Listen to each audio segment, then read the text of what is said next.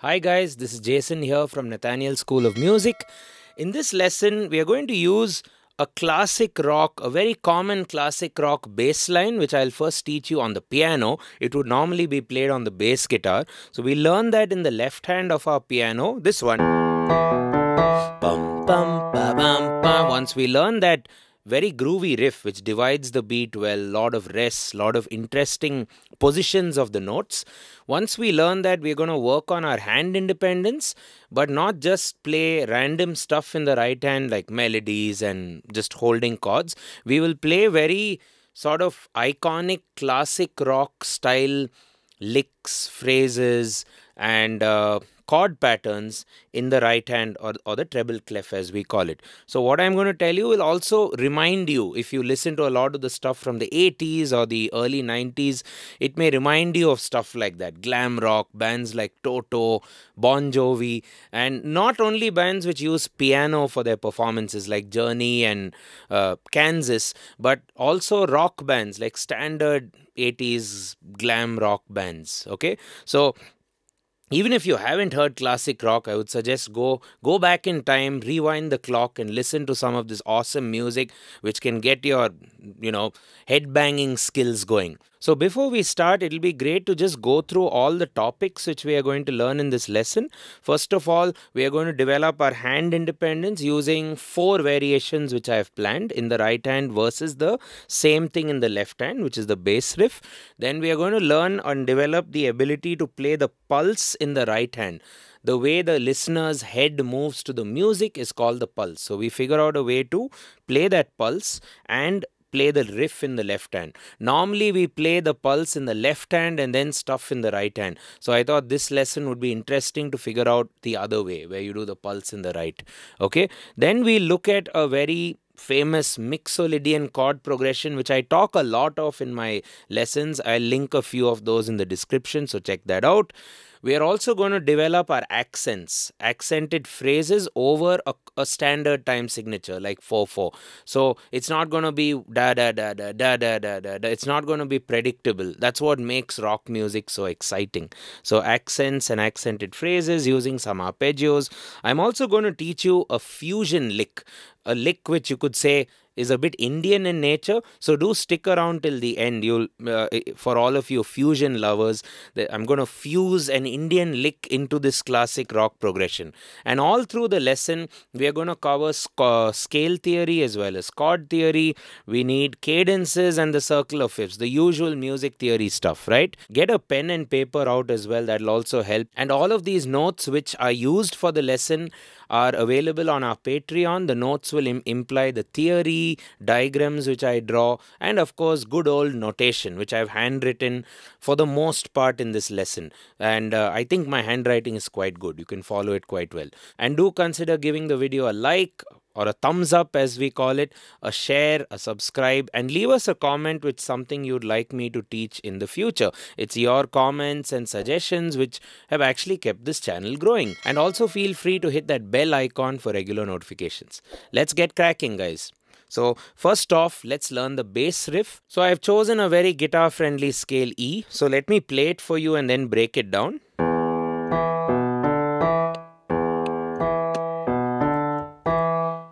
Very few notes, I guess three, four if you want to count an octave. Let's play it to, to the speed. So with a bass riff, it's important to look at it, yes, from the point of view of notes, but also from the point of view of the intervals, because that's how it works when you're composing a bass line. So this will be one, one, five, seven flat, octave, one, octave, 5, 7 flat, octave, dum pa da sa sa pa sa sa sa pa sa sa sa pa sa sa sa pa. Usually the one of the bar will be a deeper bass, which is the lower note, and then they play around like a, a common bass line could even be built, you know, using just with the pinky and the thumb playing octaves, that itself could make something very catchy, like something like this. You know?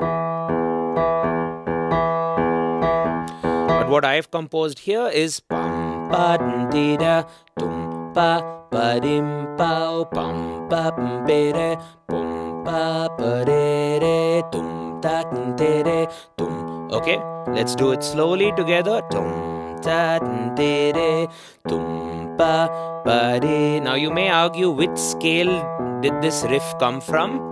It's come from the E Mixolydian scale, which is like the E major scale with a flat 7, right?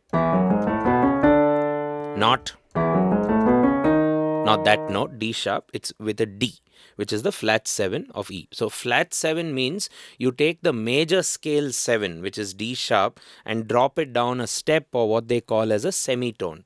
So the riff again on the Mixolydian, and Mixolydian is almost always used for a rock riff or a rock bass line. It's, it, it's very rare that you're going to hear a major seventh in a rock song. It'll be that and then maybe the third would either be minor or or major depending on the the lyrics and the vibe of the song. Okay that's the riff. I'd like you to give a nice lift off at the e. You could even say uh if you wish.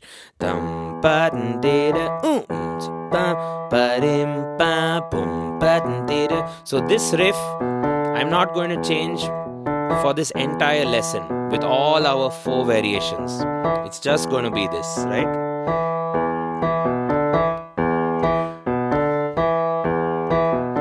Let's move forward now. Now the variations are essentially what the right hand is going to do. Let's look at variation 1 which is pretty much just pulses. So you're going to do these two chords B, D, E and then B, C sharp E as blocks. So B, D, E, B, C sharp E,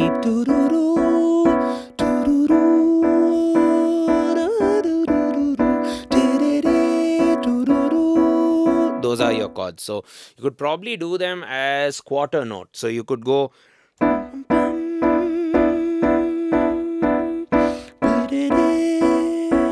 either play them four times pum pum change.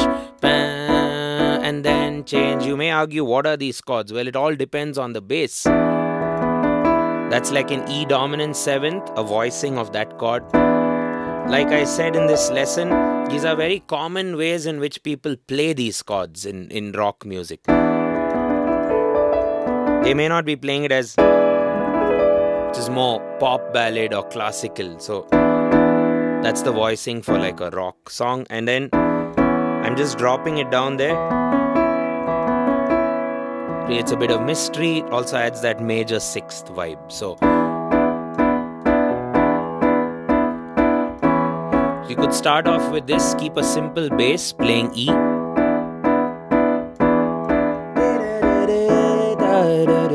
You can sing something.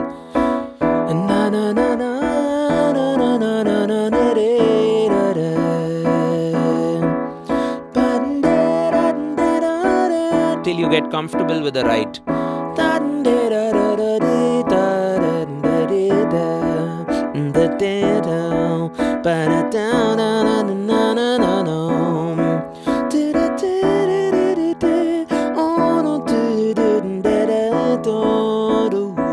Once you get that, try to play this with the riff.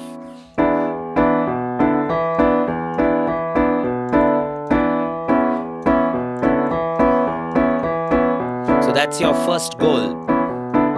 Get the pulse of those chords, two bars of each chord. So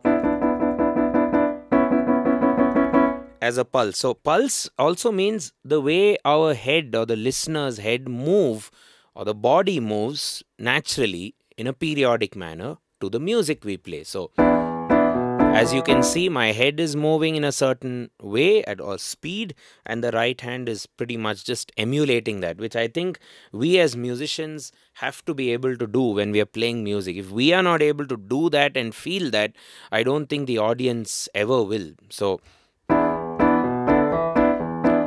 there we go. Move your head and replicate or copy copy that simulate that with your hand playing these two chords so bang some people like to absorb the concept of independence by notating both the clefs, treble clef and the bass clef, right hand, left hand, and then seeing where the two hands align. To do that, I would encourage you, yes, fine, write it down, but then start off really slow and count one and two and three and four and one and three and four. So we analyze the bass riff. There are a lot of the ands being used, right? One and two and three and four and one and two and three. So that causes the issue with the right hand and the left hand uh, integration because the left hand's playing at the offbeats, a lot of the offbeats, while the right hand's only going on. They are not really, you know, coordinating with each other. You know, they're doing their own thing. This is doing the pulse, this is doing a groove. But together they come together and make people dance. So it's important that you do both. And that's what this exercise is geared for. And two and three and four and one and two and three and four and and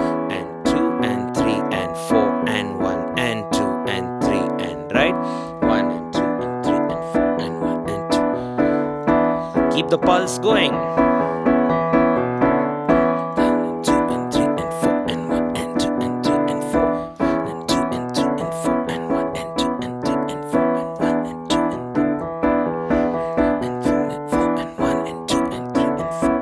There we go. Slow it down. Sometimes it's good to, I don't know, things like closing your eyes will help just to feel those notes, feel those beats moving past you. It helps sometimes to close your eyes. Yeah. Right and you never know and, and maybe you have a particular musical expression which you do with your face or do something with your eyes whatever works for you. You know you need hmm. to find something which is helping you. So even if it means just closing your eyes or just making a strange face. I don't know what I'm doing, but it comes out naturally. So that's just a way to concentrate. So beyond all the logic and the math behind the two hands integrating, I think there's a there's a mental side to this as well. And when you practice this, you may struggle on day one. You may not ever get it on day one but you've put in an effort you've put in like a solid uh, amount of practice so that is going to give you a reward in the future just like an exercise just a just like a sport or a physical exercise. So the the advice i give students and you guys watching this would be practice it to a point that your mind kind of fries itself up. It's like almost fried right? But it's not it's not like burnt out so to speak. It's just fried up so saturated and now that's it for the day you can do something else, listen to some songs, take your dog out for a walk, do anything else. Forget playing the piano for that day. But you need to play so that your mind is a little bit fried up, as I say. Okay? But you've not got it. So here's the thing, right? When you sleep, what's going to end up happening is the subconscious mind will start working on this process of mastering and getting what you wanted to get out of.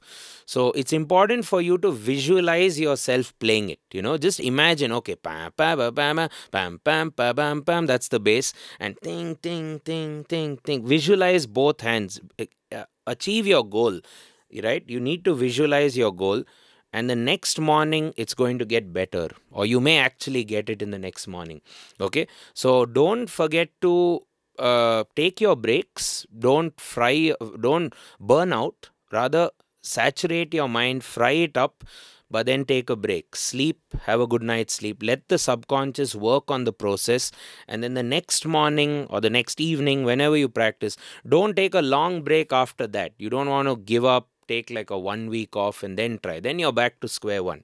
You want to do it the next morning with the same intensity, you'll realize what took you like an hour is now taking you like five minutes to just muscle back together. So this is block chords in the right hand. Right so i'm going to conclude this part of the lesson series. We're going to have four variations in the right hand. The first one is this block structure. The next one is i'm going to teach you the accents accent groupings which will be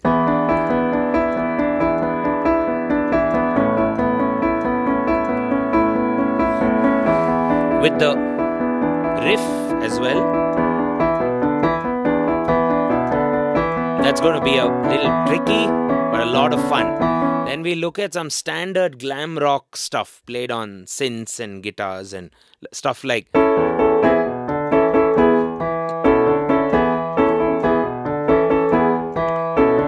little bit of theory to transpose it. You can actually play that together. Then a nice fusion lick.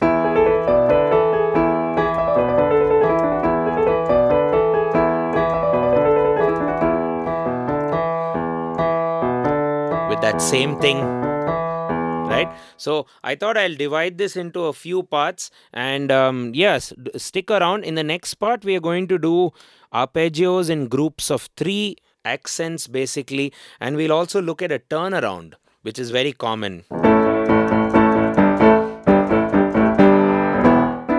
And then back like so lots coming up, guys. Uh, the the next part will be available, so do check it out. It, it's there on our YouTube channel itself. So what you want to do is hit that bell. If you hit the bell, uh, some of you already know how regularly we put up our YouTube lessons. So hit that bell, you'll get a notification. Hit the subscribe to stay tuned. And don't forget to share the video, give it a like, a thumbs up, and uh, get the notes on Patreon. Let's move on to the next part.